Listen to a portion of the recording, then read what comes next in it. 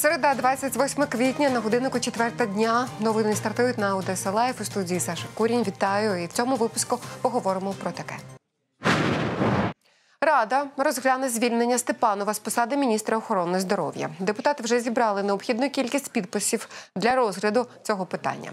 Високопосадовці звинувачують в перевищенні посадових повноважень у провалі вакцинальної кампанії, у закупці захисних костюмів для лікарів не за ринковою вартістю. Деякі навіть наполягають на порушенні кримінального провадження.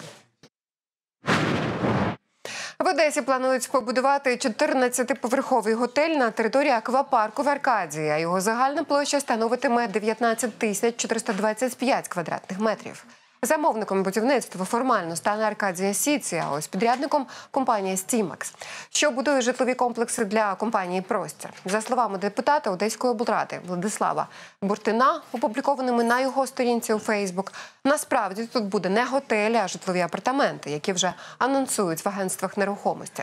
Дозвільні документи на будівництво було видано ще у 2018 році.